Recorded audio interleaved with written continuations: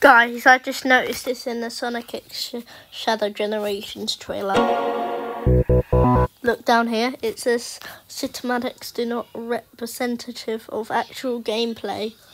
And also, we've been waiting like 13 years for Sonic for a Sonic Generations 2.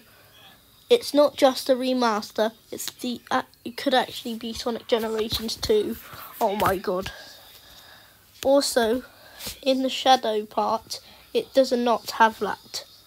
So this means we're finally getting Sonic Generations 2 and not just a remaster. Let's go, guys. And also, if you search up Sonic Generations 2 on YouTube, look what shows up. Sonic X Shadow Generations trailer. Let's go. We finally got Sonic X Shadow Gener event Sonic Generations 2 guys. Let's go. Also an extra playable character. And we're going to have more stages. Let's go guys.